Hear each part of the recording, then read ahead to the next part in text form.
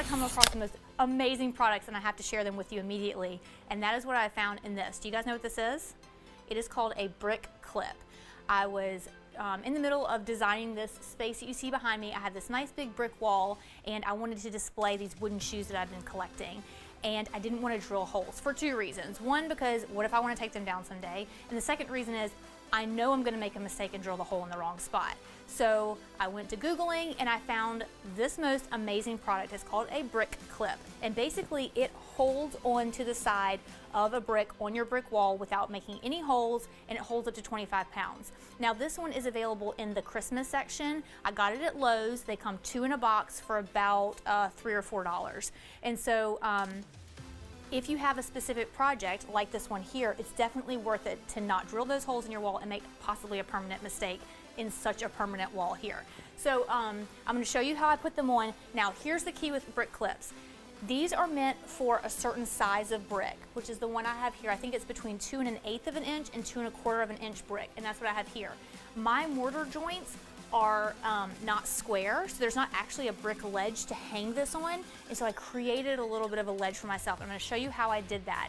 Um, but if you already have a straight brick ledge, these will work perfectly for you. There's other sizes available online if you wanna shop online for them, but this size is available at Lowe's in the holiday section. Um, if you can see here, my brick kind of has like a, a V groove shape to it. And so what I did was I took a, I don't know if they call it a saw, but basically I had this for doing tile and removing grout um, in my bathroom from years ago. If you really get in a pinch, you can use an old flathead screwdriver to come right on top of your brick and like saw it back and forth. It just sands down a little bitty notch on the, um, on the top of the brick so that this guy can hang on just like Spider-Man pretty amazing.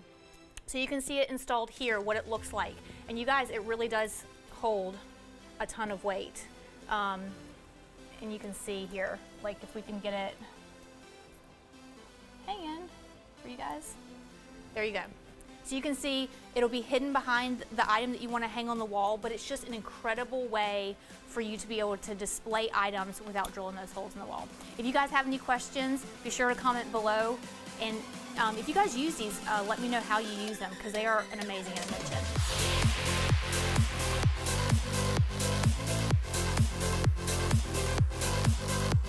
I just said an amazing invention.